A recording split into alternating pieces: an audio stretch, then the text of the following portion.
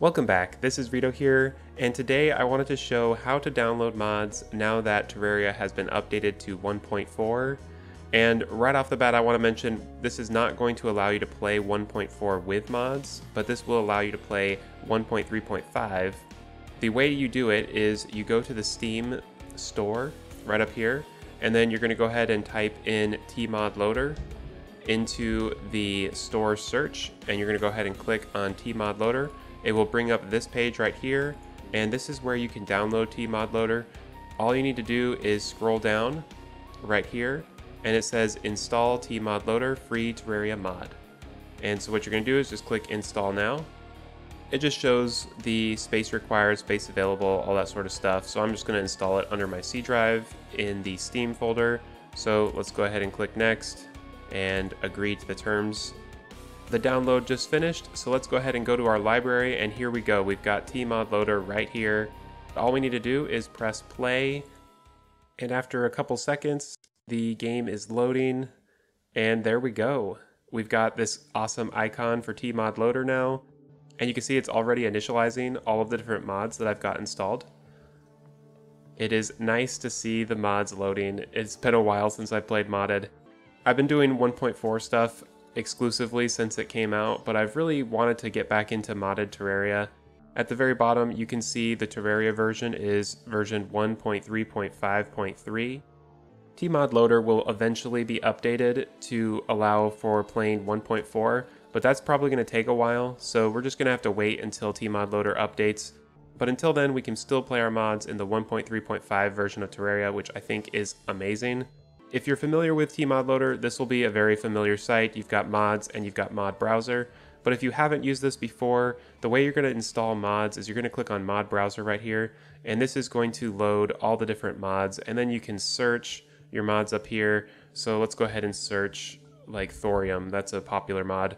And you can see we can download Thorium right there. And then this button right here allows you to update all of the mods that you do have installed. So I'm going to go ahead and do that and it looks like I've got a few updates to install because I haven't played for a while. And for those who haven't played modded Terraria, it may be a little bit jarring the first time you play because when you go to select your characters and your worlds, you're not going to see the normal vanilla characters and worlds but they are still there when you play Vanilla Terraria, so you just need to go back to your Steam and open up Vanilla Terraria, and you'll see all of your characters and worlds. So they're not gone, they're just in a different folder. You can move them in between folders, and I can show you that a little bit later in the video, but I will advise you not to do that with 1.4 content. You don't want to bring that into Tmod Loader right now, since Tmod Loader is not updated to 1.4. So there could be pretty bad side effects if you try doing that. So once when you've downloaded a few mods, you can go here to see the ones that you have downloaded. So these are the ones that I use generally. I have the Calamity mod, the Calamity Music mod, the Alchemist NPC Lite, Recipe Browser, No More Tombs, Friendly NPCs Don't Die, Boss Checklist, Max Stack Plus, Vein Miner, Weapons Out, Luiafk.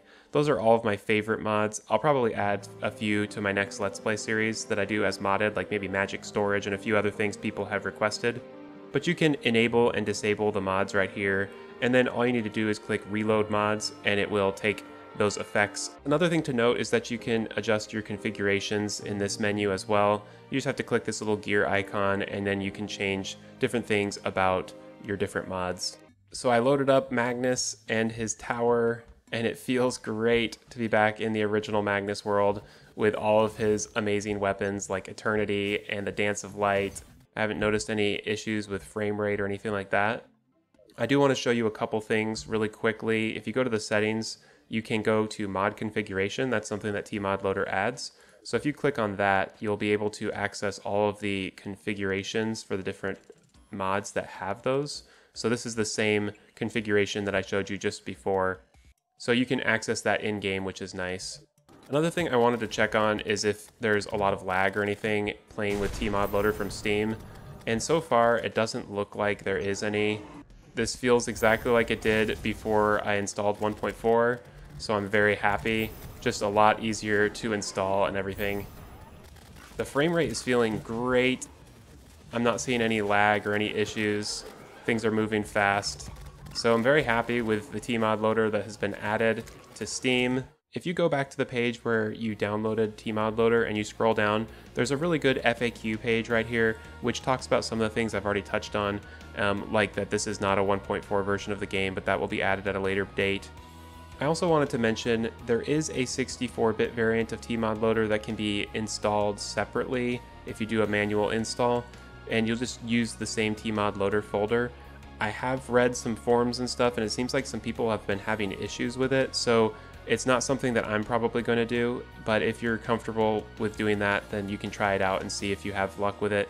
I'm probably just going to wait for them to offer 64-bit through Steam before I download it, just to keep things simple.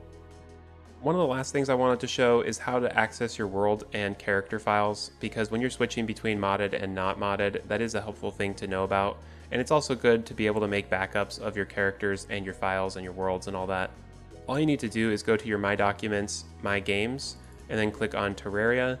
And you'll see right here you've got the worlds, players, captures, all that sort of stuff for vanilla Terraria. And then you've got this mod loader folder. So this will contain the same stuff.